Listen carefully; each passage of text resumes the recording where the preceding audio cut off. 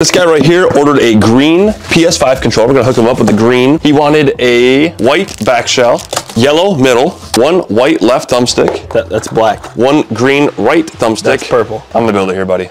Purple bumpers. I'm the builder. Green thumbstick rings. Those are clear. Solid black triggers. Looks you actually got that one right. Orange touchpad. And a gold mid. Let's grab his PS5 controller.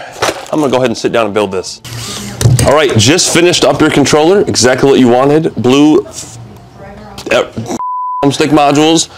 Uh, you got your white uh, thumbsticks and your uh, your blue front D-pad, Speaking is hard sometimes. I get. and uh, you got your your uh, your your back your back button. all right, all right, we're done.